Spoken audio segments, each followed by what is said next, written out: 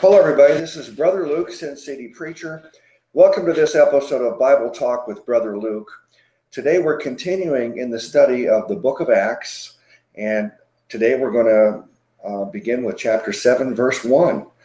Uh, before I get started, though, let me ask Brother uh, Joe to say hi to everybody. Uh, this is Joe with the Sebastian Dresden channel, and uh, I do hope you'll sub uh, if you like fellowship and learning. And that's about it. Really looking forward to chapter seven. This, I know Luke said chapter two was uh, probably the highlight, of chapter two, but this is uh, Stephen. This is this is going to be a great chapter. Back to you, Luke. Yeah, um, I guess yeah. Chapter two is a highlight. There's so many good things in in this whole book of Acts. Uh, it, it's really a, a record of the historical record of the first 30 years of Christianity. So um, there's a lot in there. Uh, but this particular chapter, I would say that if, if someone want, wanted to um, read only one chapter and, and learn about the history of Judaism, uh, this is probably be the, the chapter that kind of sums it up the best. Stephen gives a sermon that is uh, a, a, just a, is just historical uh, outline of uh, uh, the history of you know, from Abraham all the way to their present time. So let's let's begin. Uh, Acts chapter 7, verse 1 in the KJV. Then said the high priest, Are these things so? And he said, Men, brethren, and fathers, hearken. The God of glory appeared unto our father Abraham when he was in Mesopotamia before he dwelt in Charan, and said unto him, Get thee out of thy country and from thy kindred, and come into the land which I shall show thee. All right, brother, what do you say about that? we will go through it very uh, carefully. Well, I, I think maybe uh, it'd be a, a, good idea if uh, when it's your turn again, uh, you you go over just a little bit of uh, what chapter six was was about and where we're at here. Uh, I believe this is Stephen being brought before the council. A uh, little bit of historical stuff here. Um, appears to be uh, uh, the beginning of the address of Stephen. I'm, I'm a little lost. Is this uh, is this Stephen starting to address the council? I guess it is. I should be a little bit better prepared. Uh, I'm just going to throw it back to you, Luke. I'm just a little foggy here. all right. Yeah, I get. You're right. I I didn't really uh, say like my normal speech as we we uh, begin this uh, series. I mean, begin each uh, session, in that uh, I think this is the seventh or eighth uh, video so far in the Book of Acts. Obviously, we we started with the Acts chapter one, verse one, and we've been working our way through it. So we've already covered a lot of ground. there's probably, you know, ten hours of or more of content. Uh, so I, I, hope everybody will go back and watch it from the beginning, but particularly uh, uh, the, the, to get the context of this study today, the context of chapter seven.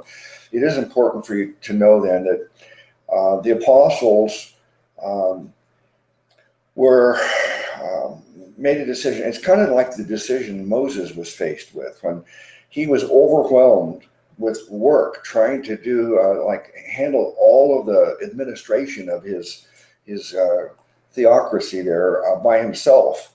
Uh, and and uh, Aaron convinced him to pick men to help him. And, and this is the same kind of thing where the apostles are at the point where they cannot do everything like you know bussing the tables you know and the serving the food and stuff so they say that we need help. We need to have our schedule free so we can preach and pray. And uh, so they pick seven men that they uh, believe are suited for this, that are, uh, have the right uh, credentials, and they and one of those seven is Stephen. Uh, Stephen, it, it'll turn out that he's going to be killed, and he will is is considered to be the first martyr, the first Christian to suffer death for his faith. Uh, so there is a lot of disagreement as to the time frame between Pentecost and the death of Stephen. Uh, some people think it was a matter of days and weeks. Other people think it was a matter of months and years.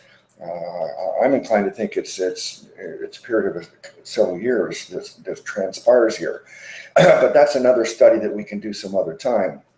The important thing to understand, though, is that uh, Peter has been accused of blasphemy, of blaspheming uh, Moses and and uh, the law, and and, uh, and, and preaching Jesus, and so they they're I guess I don't remember if this is uh, in the temple or at the temple. I, I thought I thought this was outside of the temple, uh, but maybe we'll get more. Uh, that'll become more clear as we go along. Uh, did I say did I say Stephen? Did I say something else? You said Peter. I know you meant Stephen. Oh, Peter. Okay, yeah. I'm sorry. This is this is Stephen. That is. Uh, I'm giving this sermon now, so I'm sorry. You know, I'm glad you said that because you know, I, I numerous times when I watch a video back and I intend to say Paul and I'll say Peter or I'll say well, I want to say Peter and I'm saying James and it it, it actually it, it totally reverses the whole point I'm trying to make because I I may name the wrong person. So it's just one of those mental lapses. And uh, thanks for catching that. So this is Stephen is the um, this entire chapter is Stephen's speech, his uh, which is one of the greatest, uh, uh, as I said, it's a summary from Abraham to the present time of, of, of the Jews and Israel. Um, all right, brother, before I continue.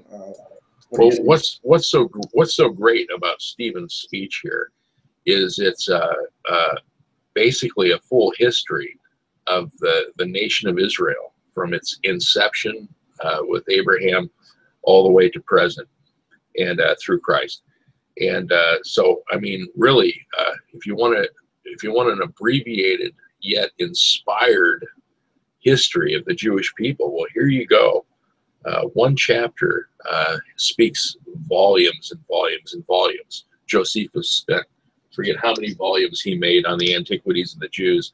Stephen manages to, to narrow it down to a, a short uh, sermon here, and in doing so, uh, ensures uh, that they hate him enough to kill him. And uh, this is, like I said, an inspired by God. It says God breathed this through him uh, on what to say about the Jewish nation. So, looking forward to hearing it read.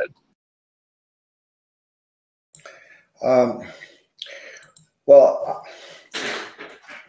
I'm going to uh, uh, make a couple of distinctions here that are just very, very common uh, mistakes that people make as it um, uh, Jews did not exist and Judaism didn't exist until a much later time than Abraham. In fact, Israel didn't exist until a much later time than Abraham. But most people think the beginning of it was Abraham. In fact, uh, uh, when Abraham uh, started interacting with God and God selected him and and uh, and and as the one to through his genealogy bring in the Messiah, uh, that the whole world will be blessed by the seed of Abraham. Uh, from that point uh, until you actually have Jews, um, Judaism, and the state of Israel, is, you know much time passes. I don't know how many years or centuries, but a, long time. Um, so uh, Abraham was not a Jew. Uh, he wasn't even an Israelite.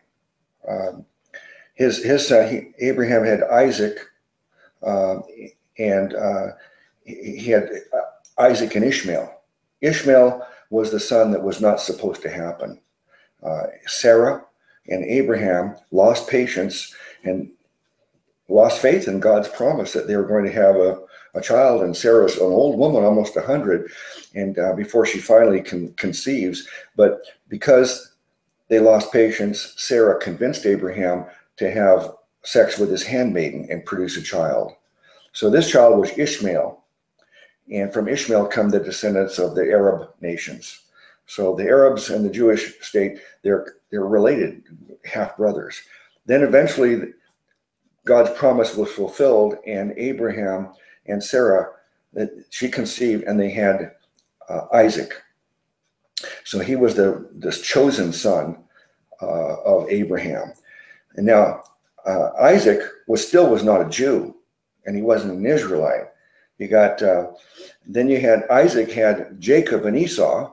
The same kind of a thing happened where uh, Esau, even though he was the firstborn among, among the two twins, uh, the one God wanted to be the, the, the genealogy that the Messiah would come through was um, uh, Isaac, not Esau. No, I mean Jacob. Uh, so, so Jacob then later on had his name changed by God to Israel. So this is the first time we hear the word Israel.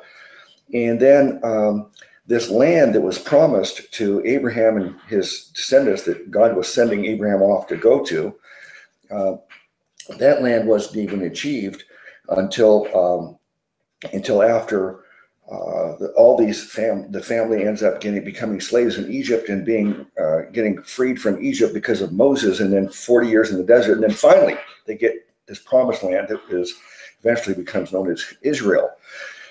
Uh, but so there were no Israelites until uh, Jacob had his name changed to Israel, and his descendants were called the Israelites. Uh, and there were no Jews until uh, Judah, one of the 12 sons of um, uh, Jacob, who, who, became Israel.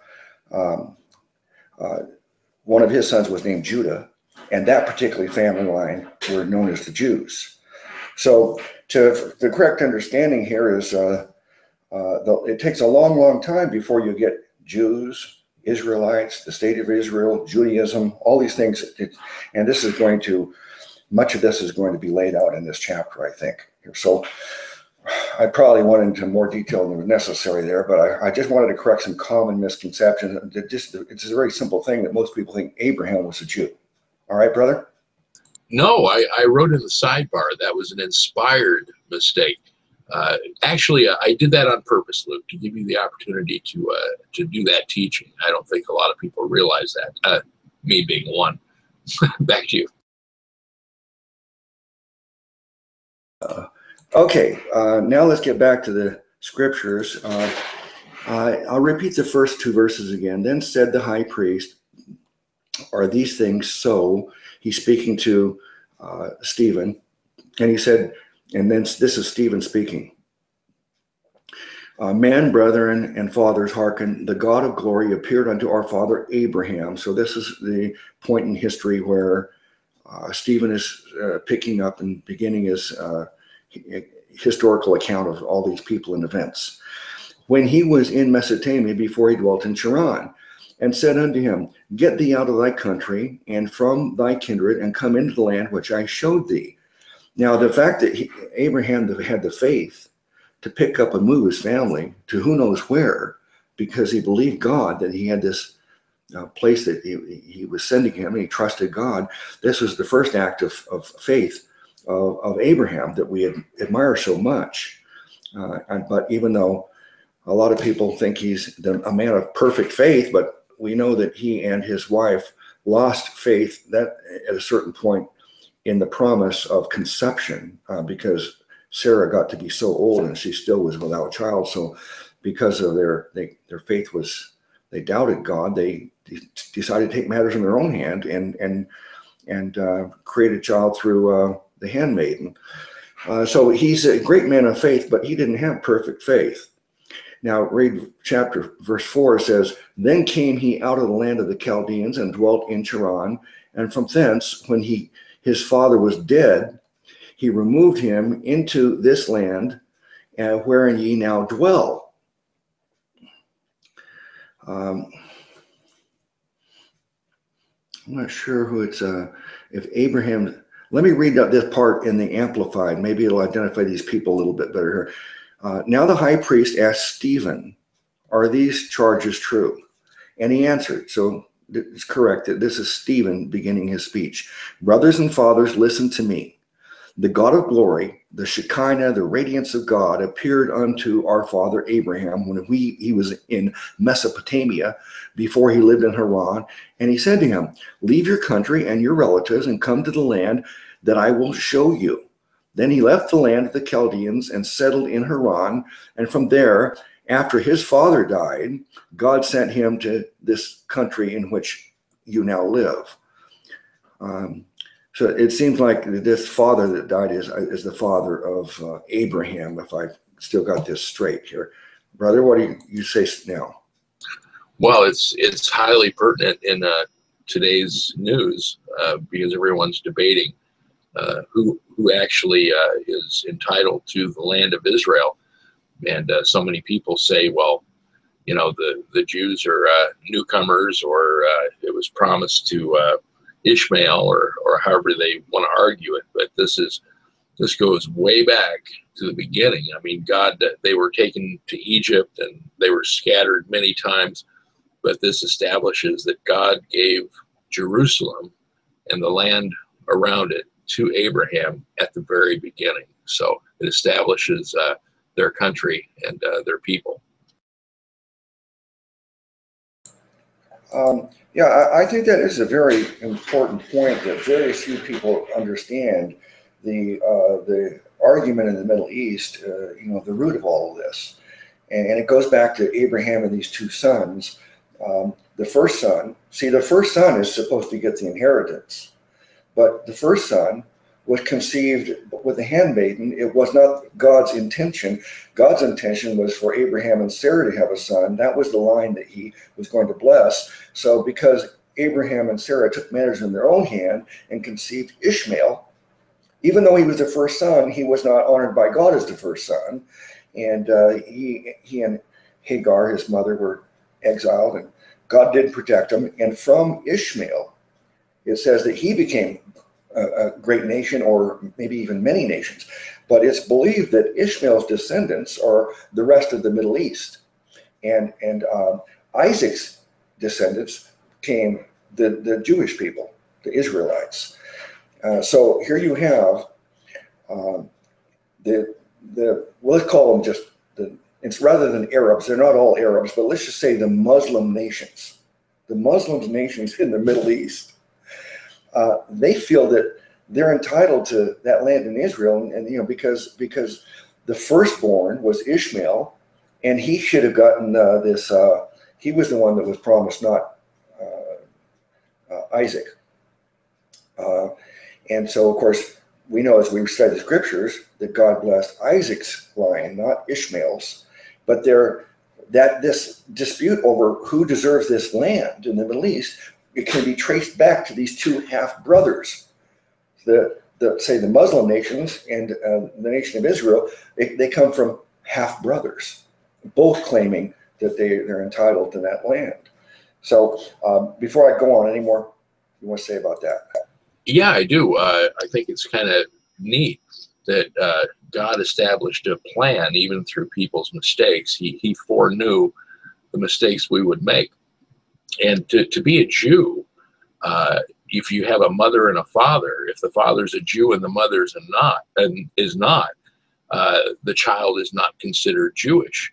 But if the if the uh, uh, father is not Jewish and the mother is, then the child is considered part of the Jewish nation. And uh, this is kind of neat all through history, especially when Rahab, uh, the harlot, is brought into the line of the Messiah, and that uh, Mary, who uh, no knew, man, knew no man, uh, conceived and gave birth to to the Messiah. All of this is through the through the woman, and it, it started out because Abraham uh, didn't have faith, and and and he, and when he was when the firstborn was with a handmaiden, God says, no, that's not the line. The firstborn is with with Sarah, and uh, that is the line, and that continued all the way down to uh, Christ. Back to you, Luke. All right, so. Uh, yeah, so Abraham, uh, he, he, there's a lot of examples of this great faith of Abraham. Even it wasn't perfect, but it was great. First of all, he was willing to move to a new place and relocate his family on, on faith. All right, so uh, continue on. It's uh, this is um, uh, verse five, and and oh, verse five, uh, and he gave him none inheritance in it, No, not so much as to set his foot on. Yet he promised that he would give, give it to him for a possession and to his seed after him, when as yet he had no child. And God spake on this wise that his seed should sojourn in strange land, in a strange land, and that they should bring them into bondage and entreat them evil 400 years. Uh, so this not only happened, but uh, God prophesied that all these things would happen here. So verse five and six, your thoughts. I'll read it in the Amplified after you're done, and maybe we'll get more insights too. Go ahead. Um, I, I, don't have any notable insights at this point, Luke. Um, just back to you. Okay, let me read it in the Amplified, the same verse five and six. It says, "But he, but he," and it's capitalized here, so uh, they're they're by capitalizing it, they're saying this he is God speaking, but he did not give him inheritable property, not even enough ground to take a step on, yet he promised that he would give it to him as a possession and to his descendants after him. And this is, in effect, what God spoke to him uh, that his descendants would be aliens, that is, strangers in a foreign land, and that they would be enslaved and mistreated for 400 years Of course, that's referencing the 400 years they were in slavery uh, in uh, Egypt.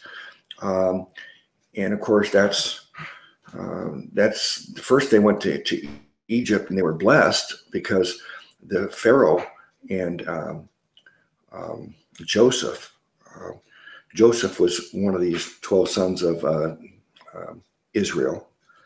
Uh, Jake, when I say Jacob Israel, it's like let's say Israel is his last name because his name was Jacob, but God changed his name to Israel, so let's call him Jacob Israel.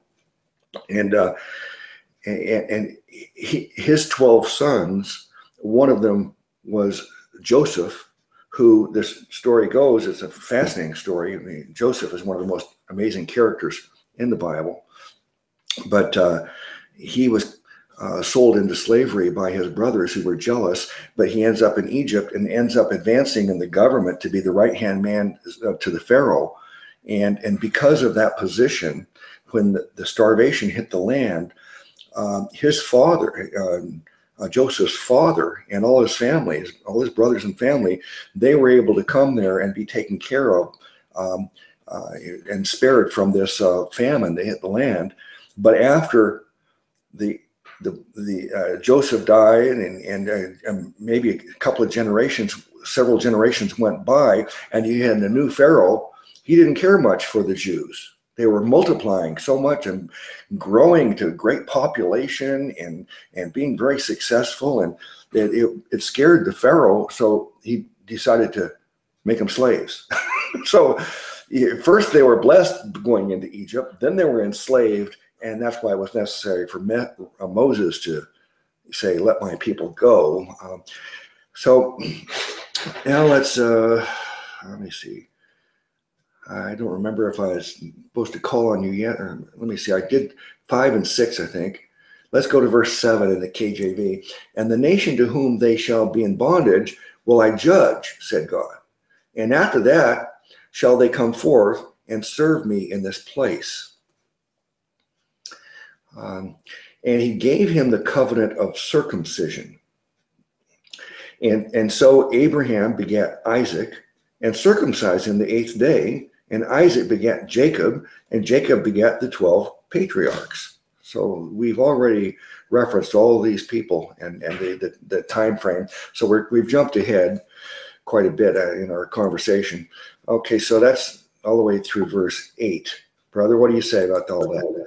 Well, I was uh, I was unaware. Uh, my mind wasn't grasping that that was referring to the 400 years of bondage in Egypt. Thank you for clarifying that. Uh, this is a Bible study for me, uh, not so much a teaching. Uh, Luke's the teacher, but uh, yeah, now that makes sense. It sounds like when Joseph's family is, joined him in Egypt, Jerusalem or the Israel area was without a presence by them and so uh, I remember when they finally got back, they had to win it back through war. So, yeah, very, very interesting. And, and evidently, uh, 12 patriarchs. Is that 12 generations before they made it back? Luke? Uh, no, the 12 patriarchs would be the 12 sons of uh, Jacob Israel. Got it. Got it. Okay, so um, now let's read further. Um, verse 9 And the patriarchs, moved with envy, sold Joseph into Egypt, but God was with him, and he delivered him out of all his afflictions, and gave him favor and wisdom in the sight of Pharaoh, king of Egypt, and he made him governor over Egypt and all his house. I think I need to be more careful in trying explaining too much because when I, I end up e- expounding, and then I'm realizing that you know this is what uh, Joseph's doing in his speech. He's he's expounding, so I, I might be just jumping ahead a little bit in my enthusiasm. Um, uh, all right, so through verse ten, what do you say about that? Well, I'm glad you expounded because I I was uh, not following uh, as well as I, I should have, and so your your uh, expose uh, helped me greatly.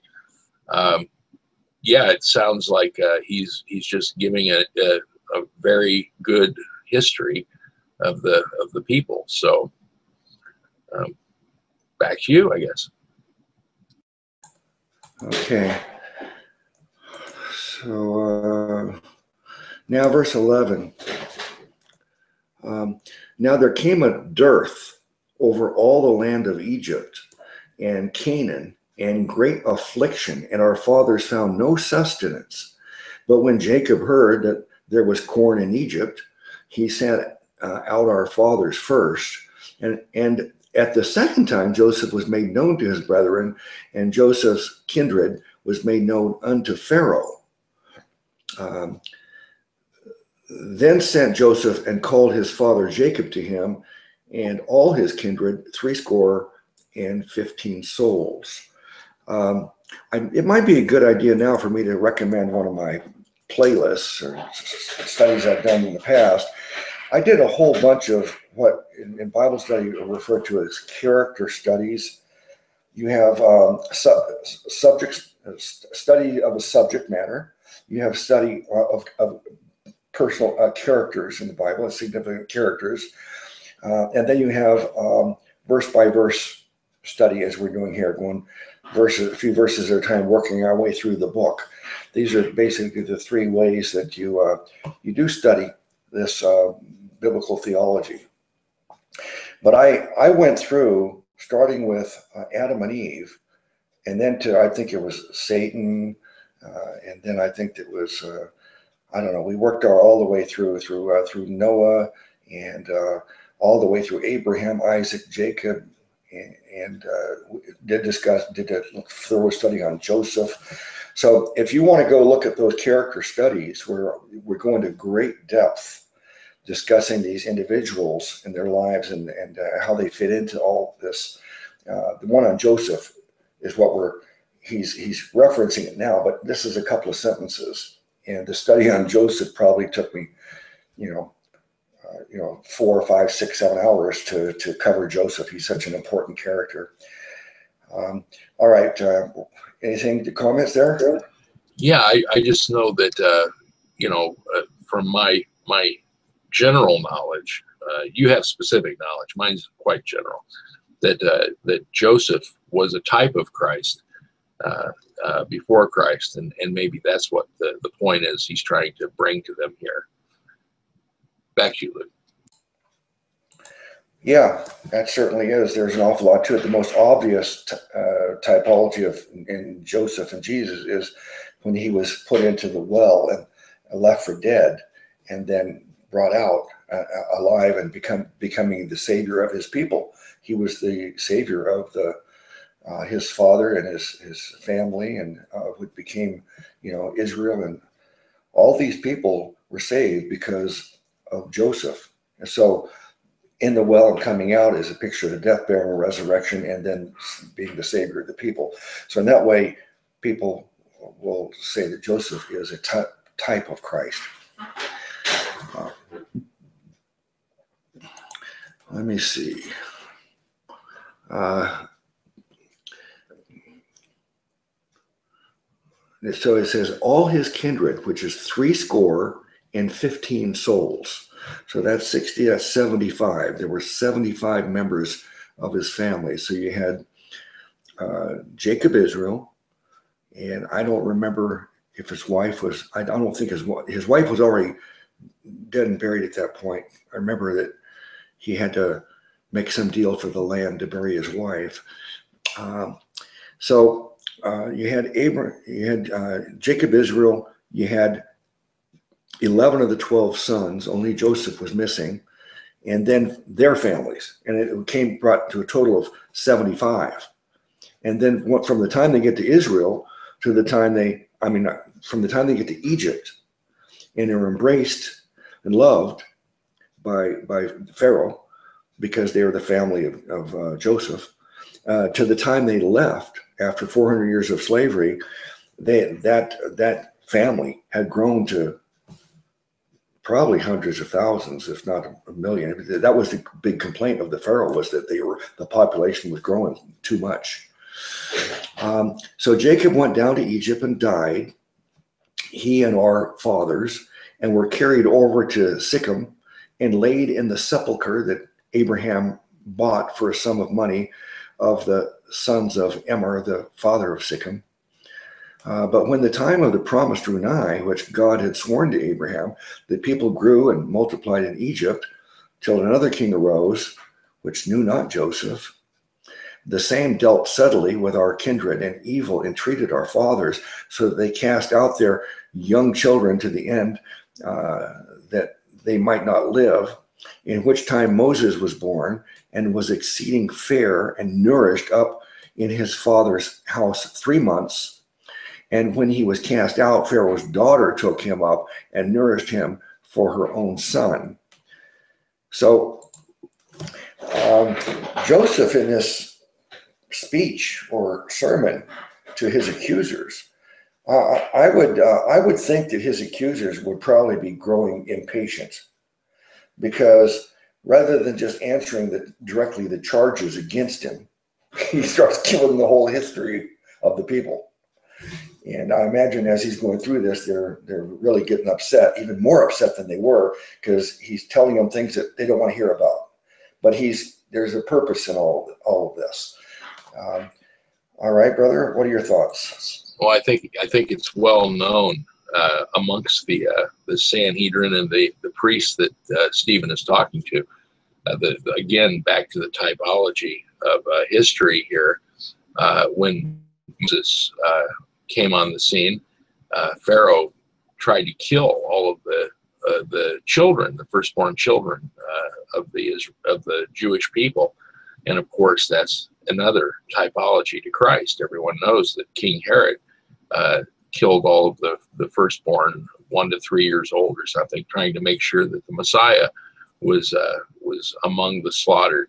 So uh, I think he's sticking their nose in the fact that uh, all of this had, was preordained and spoken of and shown in their history, and uh, they have become those that they would rail against, uh, looking back to their own history.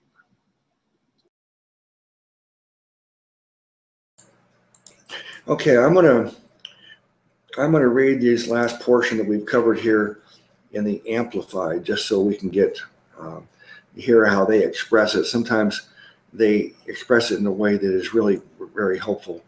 So I'll start with verse nine. The ten elder patriarchs, overwhelmed with jealousy, sold their younger brother, brother Joseph into slavery in Egypt. But God was with him, and he rescued him from all his suffering and gave him favor and wisdom in the sight of Pharaoh, king of Egypt.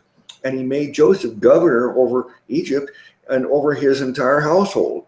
Now a famine came over all Egypt and Canaan, bringing great distress, and our fathers could not find food for their households and livestock. But when Jacob heard that there was grain in Egypt, he sent our fathers, these, these are the Joseph's brothers, the sons of Jacob Israel, he sent our fathers there uh, the first time. And on the second visit, Joseph identified himself to the brothers, and Joseph's family and background were revealed to Pharaoh. Then Joseph sent and invited Jacob, his father, and all his relatives to come to him, 75 persons in all.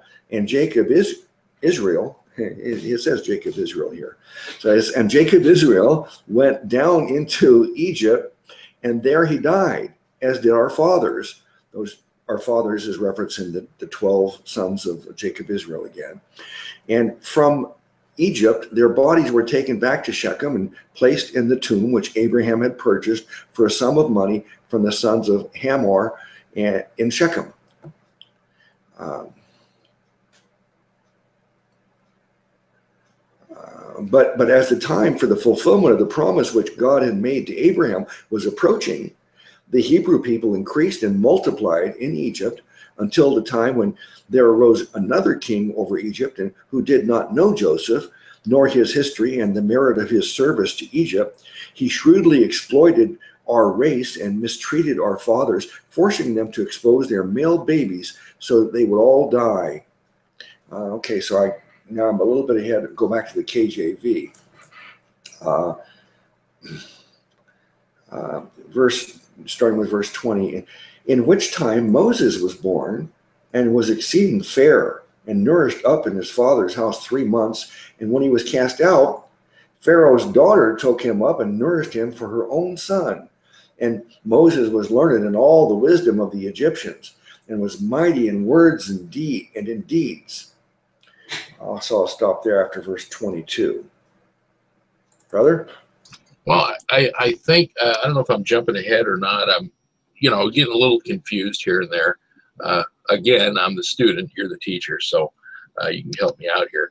But maybe what's going on, there's a reason for everything Stephen says. We know that. And so maybe uh, Stephen is uh, trying to get the uh, Pharisees to recognize that now they're under Rome uh, very much how Moses, when he came, was under the Pharaoh's wrath.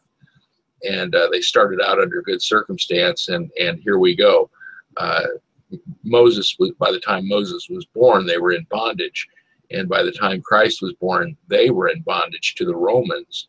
And uh, uh where where uh, the pharaoh tried to wipe out tried to kill moses by killing the firstborns so did herod uh, under the roman rule so maybe he's trying to get them to see the the typology there Um, I don't think his purpose is to uh, demonstrate the typology, um, even though it's a good point. It's it is true that uh, we can see that. Um, why is he going through this uh, uh, summary of all this history? Um, Uh, obviously, he's going to make a point in the end.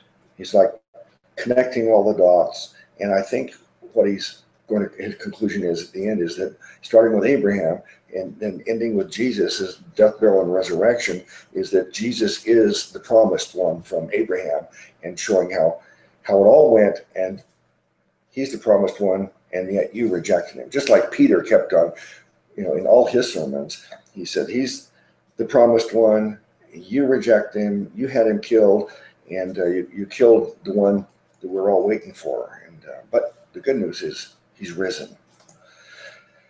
Um, go a little further um, in the KJV. Um,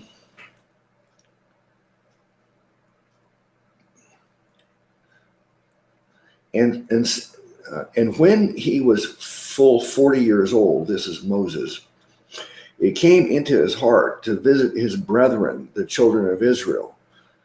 So he he he certainly was aware that uh, that was his family. That he must have been uh, told by his mother that uh, not his mother, but his adopted mother, the the Pharaoh's wife. Uh, she must have told him that you know he, he was not from her. Uh, she didn't give birth to him. She's adopted him, and so he was aware that these slaves, these Israel people, the children of Israel, were um, uh, he, he was related to them. So and, and seeing one of them suffer wrong, he defended him and avenged him that was oppressed and smote the Egyptian. For he was for he supposed his brethren would have understood how that God by his hand would deliver them, but they understood not. Now, verse 25, I'll have to read that in the Amplified, but let me get your your thoughts on that. Well, you know me when I get uh, when I get a hold of a piece of meat, you know, again, this this sounds more and more like a typology to me, and I'm not sure I'm sure they weren't aware, but uh, uh, you know, it Moses was thinking that uh, the people would recognize him as the one who would save them, and of course they did not, and uh, and he was eventually banished. But uh, uh, just uh, one note, I do remember hearing, and I don't know if this is true or not because it's from a sermon, not from uh, anything I can reference, that at the time of Moses there was about three million Jews alive at that time. And, uh, and I think at the time of Christ, it was very, very similar. I did look up how many people traveled to Jerusalem for the Pentecost, and it was like a quarter million. But uh, that, those are my only thoughts, Luke. Um, well, again, your your um, your points uh, saying that this is a typology of Christ, it certainly is true. Uh, I'm only disputing that that was uh, the intention of, of Stephen in his speech to to show it as a typology. And we see the thing is, I, have said this so many times, but I think you know not everybody's seen every one of my videos, so it's worth mentioning again.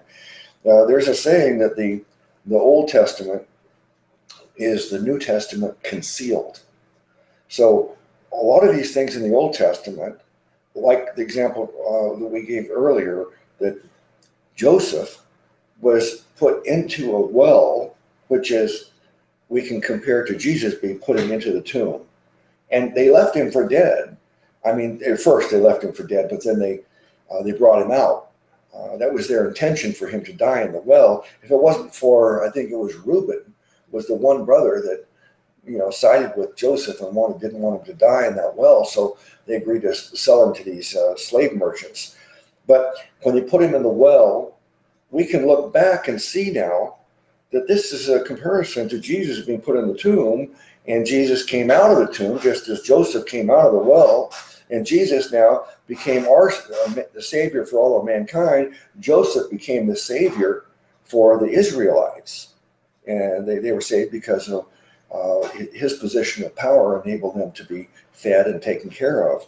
Um, so the reason it says the Old Testament is New Testament concealed is back when those things were happening, they didn't put two and two together and understand the relation, you know, that we, the, the, the way that we see it now looking back by the way, the end of that that cliche, I guess I could say, is is that the Old Testament is the New Testament concealed, but the New Testament is the Old Testament revealed. So as we're reading all these things in the New Testament, we can say, "Whoa, look how similar this is." You can can you see how this is like a type of Christ being death, burial, and resurrection here? But um, so we have the benefit of hindsight. So now we can under, we can under, we understand the Old Testament better now than anybody did in the past because we have the benefit of hindsight. All right. Any more thoughts on that before I can? Well, that makes plenty of sense, Luke. I'm, I'm dying to see uh, how this turns out. You know, I mean, this is a, a speech being given by uh, Stephen, who must know his head's on the chopping block, and uh, and they're allowing, and he is uh, giving a history of the Jewish nation. Uh, and I'm dying to see how it all works together in the end. Well, that's an interesting point. Uh, does he know his head's on the chopping block? Remember, up to this point, there's never been a Christian martyr. I mean, we know that they've been put in jail for a period, short period of time, and we know that they've gotten beaten. But so far, they've never taken to the extreme of killing one of these uh, believe, new believers. So, did he expect that he was going to be killed over this? Um, I mean, every time Peter and John were brought in for, for trial, they're always let him go. Maybe he he just thought that they'd let him go. Uh, um, I, I, don't know. So whether whether he expected it or uh, I, I really can't say. I don't have any clue. Uh, I'll read further now. Um, oh, I'm going to read 25 in the Amplified because that verse wasn't clear to me in the KJV. It says, He expected his countrymen to understand that God was granting them freedom through him, assuming that they would accept him, but they did not understand. Yeah. Yeah, I can see that. That's a that's a good point you made. I never really related that to Christ, but yeah, that's a very good. Uh, that certainly would fit right in in the typology. Then verse 26 in the KJV. And the next day he showed himself unto them as they strove and would have set them at one again, saying, Sirs, ye are brethren, why do ye wrong one to another? This is Moses talking to the Israelites. Uh, but but he that did his neighbor wrong thrust him away, saying, Who made thee a ruler and judge over us? Wilt thou kill me as thou didst the Egyptian yesterday? Then Moses fled at this saying and was a stranger in the land of Midian, uh, of, of Madian, uh, where he begat two sons. That's verse 29, the end there. Brother Joe? Yeah, that's kind of amazing. You know, uh, I, I didn't see that before. Moses uh, expected that his uh, newfound family uh, would embrace him as a, a, savior and someone who is uh, coming to their their uh, benefit, and instead they turned on him and threatened to expose him to the authorities for helping them. wow, that's got to be a wake up call. It's a cold slap. Um, back to you, Luke. Um, yeah, I, am also surprised that uh, the uh, his his his reaction was to leave the country, and here he was, a prince in Egypt, the, the like the adopted son of Pharaoh. And and uh, I mean, he had he was. I mean, imagine the the life and, and power and, and position you're enjoying, and and then because you murdered a uh, one of the soldiers, I, I, guess it was one of the slave masters, uh, mistreated, and he hit him and killed him. I don't think he intended to kill him actually, but but he killed him. So it was either murder or manslaughter, and and so instead of him thinking that, well, hey, I'm a prince. If I kill someone, the pharaoh's not going to be too upset with me. You know, the rules don't apply to the royal family, do they? Apparently, they did. Uh, maybe he was afraid for his wife. Brother, I, you know what? I just realized something, and I all, I've always said the same thing. You know, why would Moses be afraid? Because he was a prince. You know, he could have had 20 guards killed. It wouldn't have, it wouldn't have made a difference. Uh, I'm sure that that happened all the time, given the history of, of uh, the pharaohs. But now I see the problem. For the first time, I've never seen this before he proclaimed himself to be uh, the king of the Jews or uh, the savior of the Jews. And rather than accept him, they threatened to expose him, not for killing the, the slave master, but for proclaiming himself to be this one that uh, Pharaoh certainly couldn't tolerate, someone that, that would, uh, was on the Jews' side. He's exposed himself not only as a Jew, but someone who could save them or lead them and so that would have been a direct threat to the Pharaoh.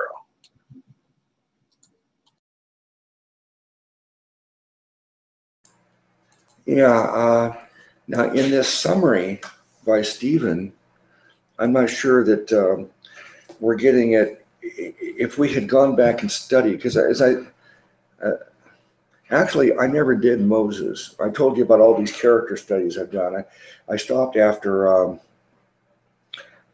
um, let me see, I got uh, Noah. Um, no, I got Abraham, I got Joseph, and then I think, um, hmm, I can't remember where I left off in the character studies, but I know. Oh yeah, I, I remember I went to um, do the study on uh, uh, Job. I got because I didn't know where to put Job. When you study the, the history of uh, where do these fit in the timeline of history, there's a great dispute over where Job fits in. Um, some people say he was lived before the flood others after the flood. Others say he lived, he was a contemporary of Moses. But um, so I decided to do Job, and he's the last character study that I, I did. So I need to, I haven't continued in that to uh, pick up with Moses. So I, I need to, when I go back to the character studies again, I need to go through Moses, uh, you know, carefully. But if I'm remembering right, uh, I don't think this was part of the text of that at all that he had in mind that he was going to be their savior at this point. When he killed the guy, he's afraid, he runs and hides out. He has no clue at this point. Uh, so when Stephen is referencing back at this, um, he he's I don't think it's to be taken that Moses at the time he murdered the guy or you know, killed the guy, and then he's talking to them, and they're say they're going to report him, and he runs and hides out. I don't think in his mind he considered himself that he's going to be the savior of the, the, the, the Israelites at that time. He had no clue until God revealed it to him quite a bit later. Yeah, but you, you, you, you, saw what the Jews said. I mean, the the uh, fellow, the captives in Egypt, they said, "Who are you to be calling yourself our king or our ruler?" Uh, so he did have an inkling that he was uh, uh going to be their savior uh, and uh, he killed that guard on their on their behalf. Uh, and so when they said, "Who are you to call yourself a ruler or or over us?" Uh, I think that he was in fear for his life because uh, here are the slaves saying, "This guy claims to be our king or our ruler." Yeah, but uh, why wouldn't he? He is a prince of Egypt. I, I think they I think they were referring to him as uh, you know a, a, Jewish ruler, someone that was there to uh, advocate for them, is what it sounds like to me. Uh, and that may have been uh, inspired knowledge. Maybe maybe that it wasn't said before, and, and and God was speaking through him. I don't know. Well, if you're ambitious, you can go back and look at all that the verses and study very carefully. This uh, in in the Old Testament where it's writing about these these things. And uh, I might be wrong, but I'm pretty confident that uh, uh, this was not part of the conversation at that time. It was no indication. Moses had no clue. Nobody had a clue that he was going to be the leader of the Jewish, the Israelites.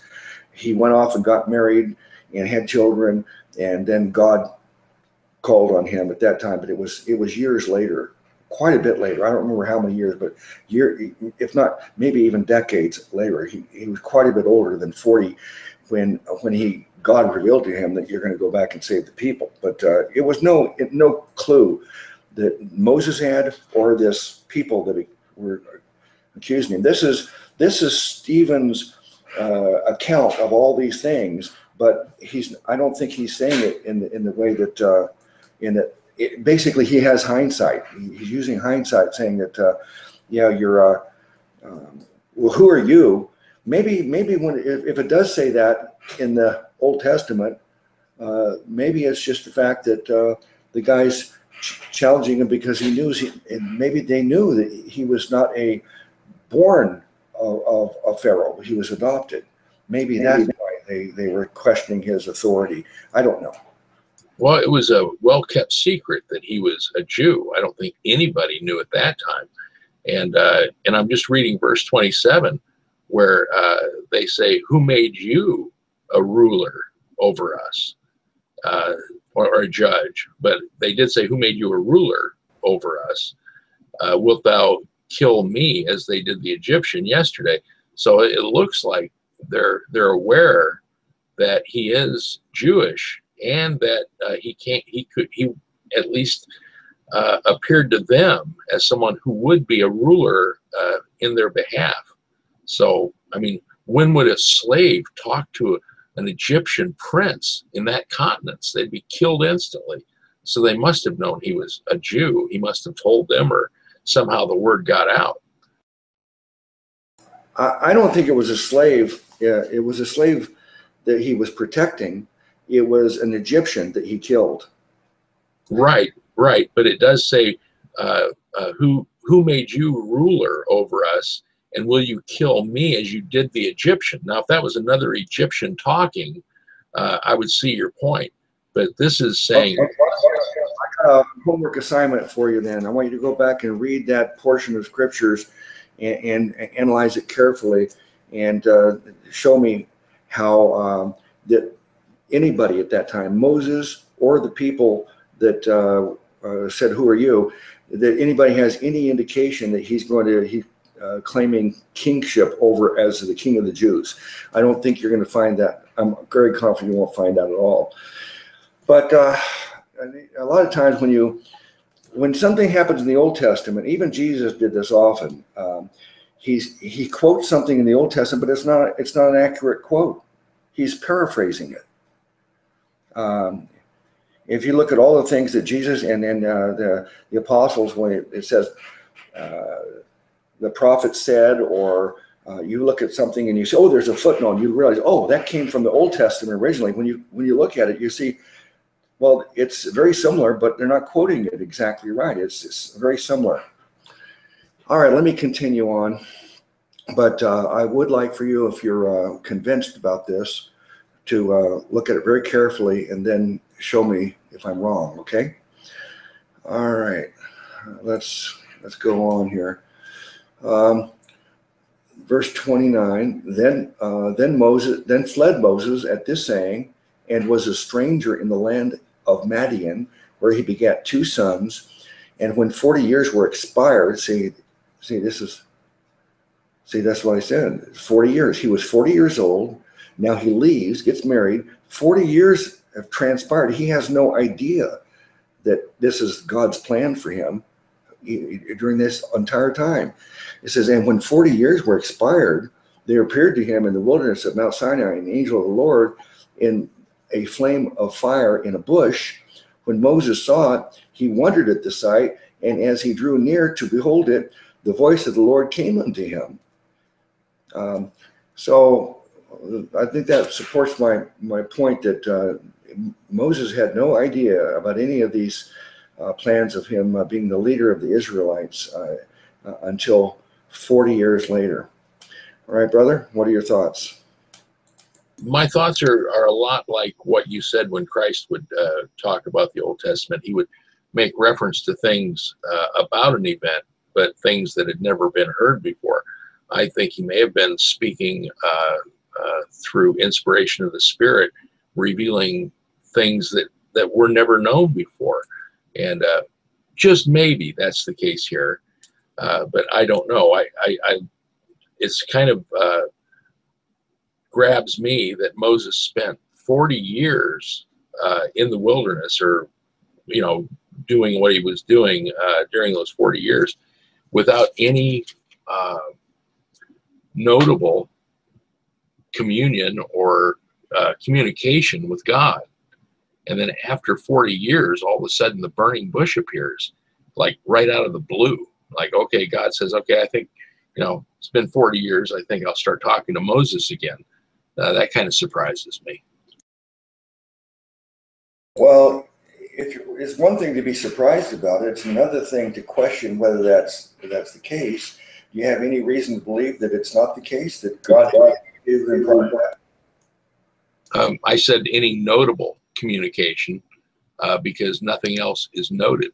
Uh, I, I don't know that he didn't have communion or communication with God, but uh, the burning bush caught him by surprise and uh, so it was obviously not normative anyway. And uh, it was a miraculous event. And there's nothing else noted during those 40 years that I know of anyway. And that's not saying a lot. So it almost seems like God let him go through a dry spell for 40 years before he started communicating with him again uh, in any notable way. Well, to, to me, uh, to call it a dry spell means that you you were you had water, and then there was a dry spell, and then you got water again, just to compare it to dry and wet. But there was no dry spell from his birth until he was 80. He had no understanding or anything knowledge about the God of Israel, and uh, this was the first first first idea he had. Maybe he maybe he knew there were these Israelites. There's no indication at all that he understood anything about their religion, their beliefs. Uh, he just knew that that was the family line he came from. So, um, uh, yeah, I don't think it's a big surprise that he's 80 years old and then God decides now I'm going to, here's Moses, I want to use him for this purpose. Um, let me read on. Uh, uh, verse 31 when uh, the flame of fire in a bush, when Moses saw it, he wondered at the sight. And as he drew near to behold it, the voice of the Lord came unto him, saying, I am the God of thy fathers, the God of Abraham, and the God of Isaac, and the God of Jacob. Then Moses trembled and durst not behold. Then said the Lord to him, Put off thy shoes from thy feet, for the place where thou standest is holy ground. Uh, let's just stop there for get your thoughts on those verses. Uh, well, I, I, I, I, those are. I want to comment on that, but first I want to go back to verse 25, if you would. I love a good challenge, and uh, verse 25 uh, said that for he supposed his brethren would have understood how that God by his hand would deliver them, but they understood not. So uh, that that would be uh, in slight contradiction to what you were saying earlier, and so I thrust that back uh, to your challenge, and uh, I'll let you answer that, and then I'll I'll come back to this point.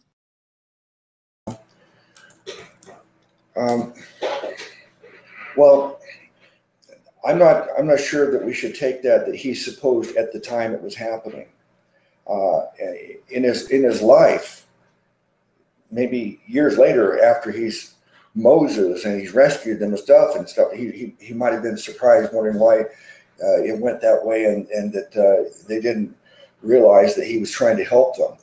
But again, uh, this is Stephen giving a, a, a, a recount, a summary of all this stuff if you can find this same point and make this point from the actual scriptures in the Exodus, then show me. But um, again, I don't have Exodus memorized, but I'm I'm I'm pretty sure that uh, uh, there's uh, no indication that he had the idea that he was supposed to be going to be the leader of these people at that time.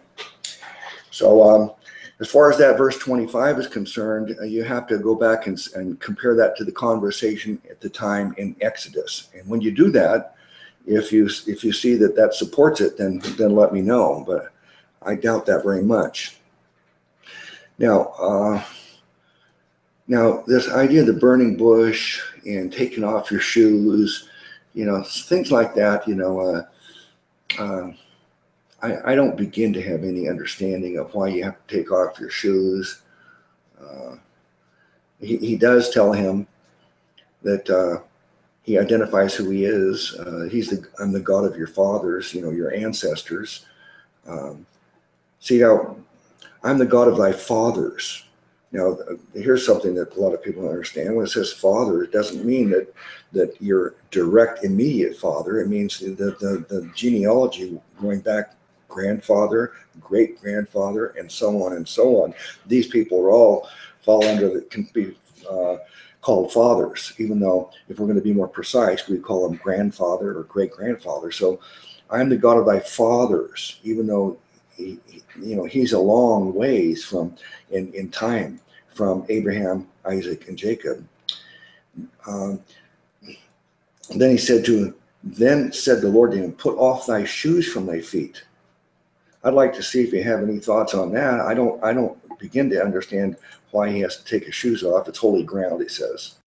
Yeah, that that that I don't understand.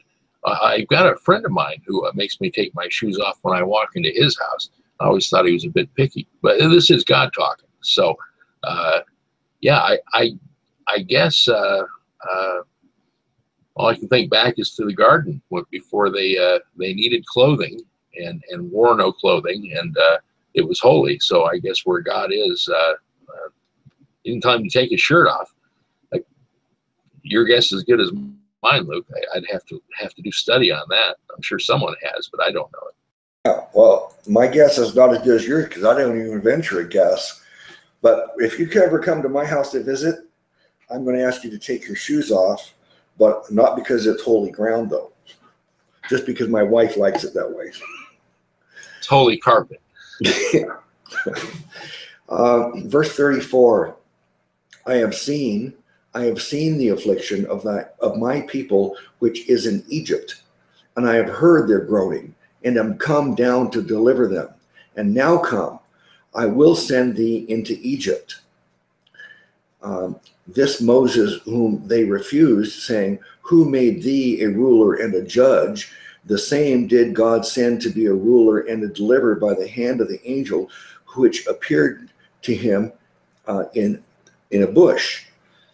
So, but this is um, again, this is uh, Stephen reflecting back to history from distant past and saying that they they challenged him, "Who made you a ruler and a judge?" But he's saying, in fact, God did.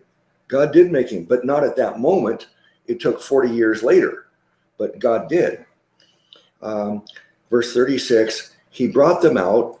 After that, he had showed wonders and signs in the land of Egypt and in the Red Sea and in the wilderness 40 years. Uh, I'll stop after verse 36. See if there's anything you want to say about all that. Well, there's a, a definite uh, Chris that you know when you're always trying to uh, correct people, you know, and the messenger thing, you're quite right because this was obviously God, and yet uh, it it speaks to the Christophany of me as him being an angel. So uh, you know that was that was Christ, I'm sure, uh, who was making the appearance uh, to Moses in the burning bush. So the angel was was Christ, I think. Um, so uh, and it says, I, I noticed he said, "I have seen, I have seen the affliction of my people." He repeats that twice, and I'm sure there's some significance there. Um, and again, I think Stephen may be speaking, as the Catholics would say, ex cathedrali. I think he's, I think he's getting knowledge that uh, in little bits and pieces that maybe uh, nobody knew before, but just an opinion.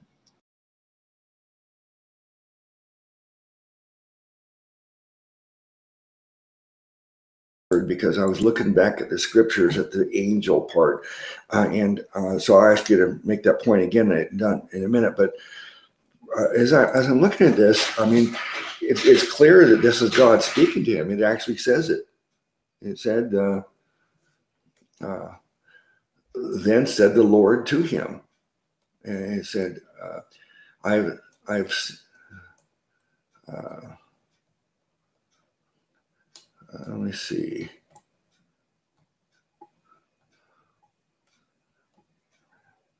Oh, I thought there was another point where it said God. Oh, yeah. He says, verse 32, it says, I am the God of thy fathers. So this is verse 32. I mean, it's God identifying himself to him. And then later, the word angel appears. I hadn't noted that when I read it. So let me look at angel. Okay, verse 35. This Moses, whom they refused, saying, Who made thee a ruler and a judge?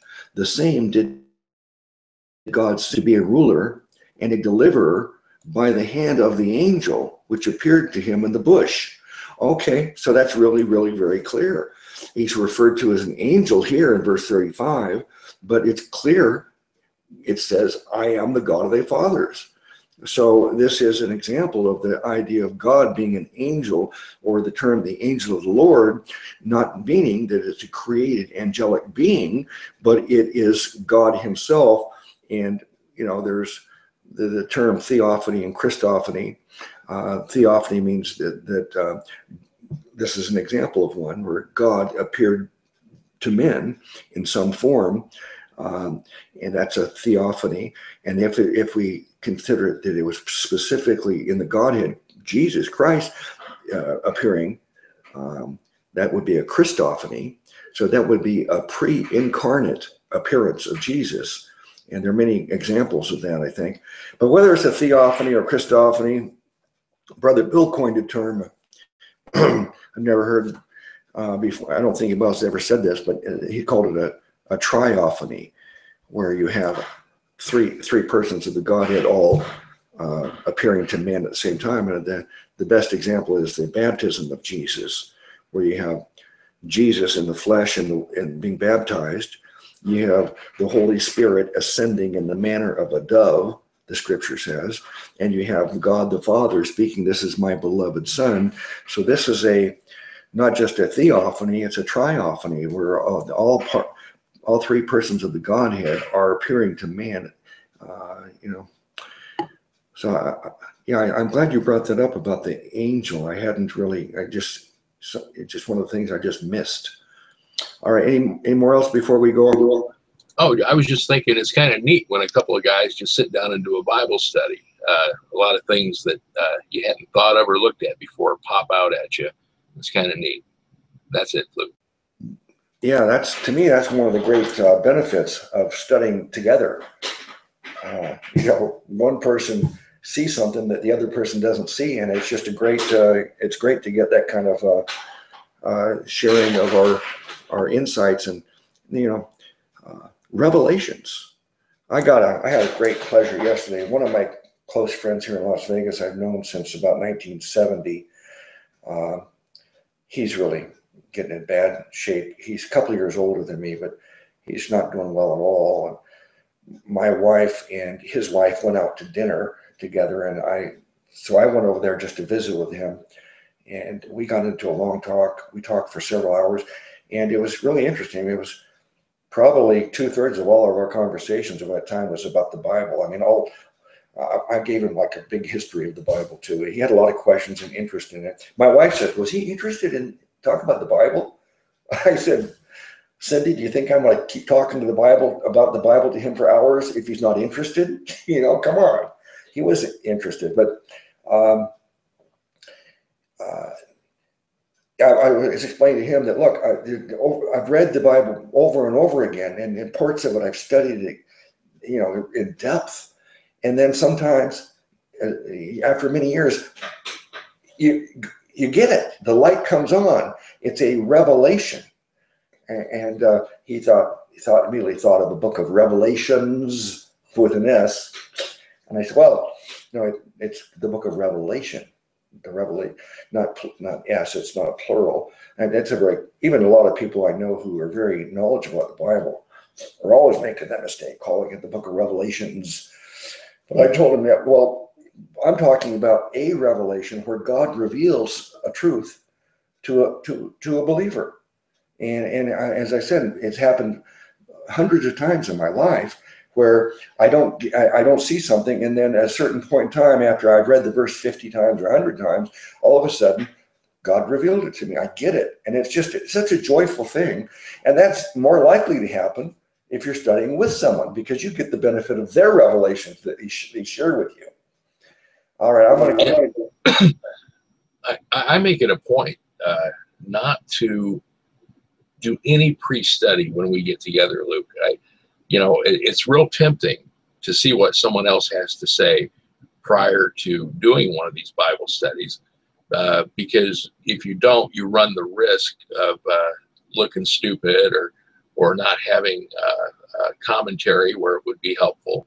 But I just find that when I sit down with the Bible without uh, pre, maybe I've got my background, but without preconceived or or fresh insight from someone else, that when you sit down and read it like a, new first time you've read it in a while, that you don't come in with preconceived notions and, and you you might miss big points that other people have found, but you're more likely to find little things that other people haven't. And so uh, at the risk of looking stupid sometimes, that's just the way I enjoy doing it uh, when I get together with you. Well, I just had a little revelation, and that is I looked at I looked at the clock. I, I cannot believe it. I remember yesterday was so strange. I, I told you I had a, I was pressed for time and I had to finish the study at, sharply at four o'clock so I, I, could leave with my wife. As I said, she was going to meet her friend for dinner. So I ended the, the discussion with you and Ted and myself. I ended it abruptly because I thought, okay, we've run out of time. I got to hurry up and leave. And then I realized that, wait a second, I stopped a half hour before time. I was mixed up on the, the time. And it was really interesting how that happened. But um, it probably was a good point to stop anyway, because we finished chapter six, and this way we can start chapter seven right at the very beginning. Uh, but today, it's a different kind of a thing. I look up and I say, wait a second, have we really talked for almost an hour and a half now? I know you like to go an hour and a half if there's just the two of us. So we're, we're approaching the end. Um, and so, I, I guess it's time for us to do sum up our thoughts and do a gospel message here. Well, I yeah, I, am kind of surprised too. Yesterday was funny. You you couldn't see because I, I tend to turn my uh, camera off when I'm not talking, so I can smoke my cigarette without looking bad or whatever. But uh, yeah, I got it. I had the biggest smile on my face when I realized what you were doing, but uh, I couldn't bring myself to interrupt. You were in, it was a good place to stop. But uh, yeah, I just uh, time went by really quick today. But you know, I I think I've seen a couple things that I'm going to challenge you on and uh, so I'm I'm very happy with what we've done today. It may not have been helpful to whoever happens upon this as much as if I hadn't been a, a contrarian, but uh, I, have been real happy with the study today, and I'm I'm dying to dig into a couple things because of it. Uh, and it's it's interesting, you know. This is this is what God inspired Stephen to say to the rulers of Israel. We're going through it kind of an in-depth study, a lot more in-depth than I thought uh, in his in his speech here. And uh, I'm dying to see how it all fits together. Whatever it is, it didn't go well for Stephen uh, by the end of it because he must have said something that yanked their chain. So uh, I'm kind of anxious to continue on. But uh, back to you, Luke. Yeah, yeah. Well, I, I hope you will. Uh, I, I'd like to put the burden on you uh, to prove me wrong because I'm I'm operating based upon certain assumptions and my memory. Uh, but verse 25 is your is your issue, uh, thinking that it's part of this typology and that uh, he's uh, it, it's known at that time by him or and, and that uh, that he's he's either claiming or they're seeing him as claiming that he will be the king of the Israelites and um, uh, what I'm saying is that from what we covered today, it says that uh, 40 years passed and there was no communication with God in his whole life. There's, we don't have any indication there's any communication from God at all until he's 80 years old. And uh, there's no reason for us to think that he was aware that God was going to use him to be uh, the, the, king of the Jews, and he wasn't making that as a claim, uh, even though the way Stephen has, has said this and it's recorded in the book of Acts. Um, it, I, I don't think it, it matches what you're going to read if you go back and read Exodus. But so if you find otherwise, I'll be very interested in hearing it. And uh, as far as the rest of the study as a whole, um, um, I thought I enjoyed it very much. Time really flew by, so I must have really enjoyed it. It was very interesting. A lot of, it, I've always loved the, the uh, the, this timeline. And, uh, you know, I, I memorized a long time ago uh, the, the prophecies. There, there, there's a prophecy uh, specifically on each of these people um, that the, the Messiah would come from the family line of Abraham, Isaac, Jacob, Judah, Jesse, David. So, um, and all of these characters, Abraham and his two sons, and then uh, Isaac and his two sons, and then Jacob and his 12 sons. And, you know, I'm, I'm, I, I know that material pretty well. And it's, it, it's always fun to dis, to discuss that and all those characters. And when, as I said, when I did the character studies on all these people, all, all these main characters, all the way up through Joseph, uh, and then the one last one I did, as I said, was on Job. So those character studies I really enjoyed a lot, but I really got to know a lot about all those characters because before I did that, I had a good general un- understanding of it. But when you really get into the, as we're doing here, when you really try to really get into the like the nuts and bolts of these verses here, you get you understand it much better than you did just from reading over it over the years. So that was very beneficial. Uh, now the the the gospel message, uh, we, we end each broadcast with, with the, the word gospel is a Greek word that means good news. So I've got really good news for you now. It's it's the best news you'll ever hear in your whole life. If you really understand it and believe it, you'll realize it's the best news. And, and that is that uh, you, Jesus is offering you right now eternal life in heaven as a free gift. Now, in other words, if, if you think that after people die, they maybe God judges them and they go to the good people go to heaven and the bad people go to hell, and you're trying to be really good and hope you go to heaven, well, you need to understand that that's not the way it works. Uh, not that's not the what I call Christianity that, that we find in the Bible. You you've probably been misled by uh, the churches you've gone to, the televangelists you've watched, the radio, uh, Christian radio. Um, most people are not taught biblical Christianity. Most people believe that in order to go to heaven, God judges them, and if they're good enough, they get to go to heaven. So what they do is they join the religions, they they follow a set of religious rules, and they work real hard at it and keep their fingers crossed, hoping that when they go to that judgment and God says, Why should I let you into heaven? They got all kinds of good things they can say, and God will approve of them. But the truth of the matter is, if you were in front of God and He said, Why should I let you into heaven? You better stop pleading your own case and saying that I deserve heaven for all the following reasons. Re- reject that because the Bible says that's not the way to get into heaven. That's man's way, that's man's philosophy, but it's not the way to heaven that we learn from the Bible. The, the Bible says the way is Jesus Christ. It says that we don't get to heaven through our own religious works, our own ability to perfect ourselves and make ourselves acceptable to God. That's why the, the shirt here I have on today, it says uh, Christianity is not a religion. See, a religion, if I was going to define a religion, you've heard the saying, well, they do something religiously, like that person exercises religiously. They never miss a day of exercise. Well, religion simply means that uh, there's a system of things that you're required to do in an attempt to earn approval from God. But see, Christianity is not a religion, it's not based upon the, what you do for God. Christianity is a, a, personal relationship with Jesus Christ as your Savior, and the belief that salvation is not based upon what you do for God, but what God has done for you. What did He do for you? Well, the Bible says God came down from heaven and became a man named Jesus Christ. It says that He became a man in order to die. And he had to die to pay for all of our sins, and he was successful. He suffered and died on a cross, paid for all of our sins. So now the issue be, you at the judgment is not sin because Jesus paid for all of our sins. The issue is faith or no faith.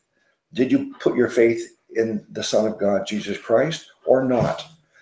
The difference between the people in heaven and hell is not the uh, the, the good people are in heaven this, and, and the sinners, they're all in hell.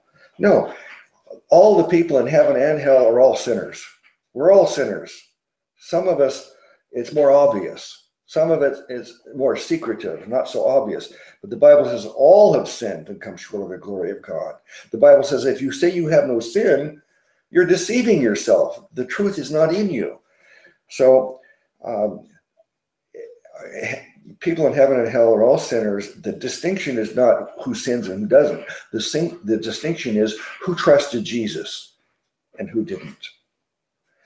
So, not only did Jesus die for our sins, paving our way so that we can go to heaven, but he also raised himself from the dead bodily on the third day. He promised he would raise himself bodily as a sign to prove that he is God and he is the Savior. So he gave us the proof that was demanded. Jews, the Jews demanded a sign. He said, This is the sign or the proof that I'll give you. And he did it. He is risen. Thank you, Jesus, for giving us that resurrection. And he promises that someday all of us, when after we die, someday there will be a resurrection of all of us. We will be raised back to life bodily and be judged. And the judgment will be, did you believe in Jesus or not? I hope at the judgment, when God, if God says to you, why should I let you into heaven? You don't argue your own righteousness. Instead, you say, God, I don't deserve it, but I've trusted Jesus. I'm relying on him. And if that's your, if that's what you believe, then the Bible says you're guaranteed you're going to heaven. All right, brother. Uh, last word from you. Just a, fantastic uh, gospel invitation. You know, it can be something as small as God. I know I'm a sinner and I need a Savior. Jesus save me. That's that's that's enough. And uh, I hope somebody says those words. Okay, brother. Thank, thanks again. I always look forward to it. Maybe, maybe tomorrow we'll do it again. We'll, we try to do these daily at uh, 2.30 p.m. Pacific time. And uh, of course, sometimes our schedule won't permit it, but look for us at, at that time each day. Uh, thank you, Brother Joe, and bless you all in the name of our great Savior God, Jesus Christ.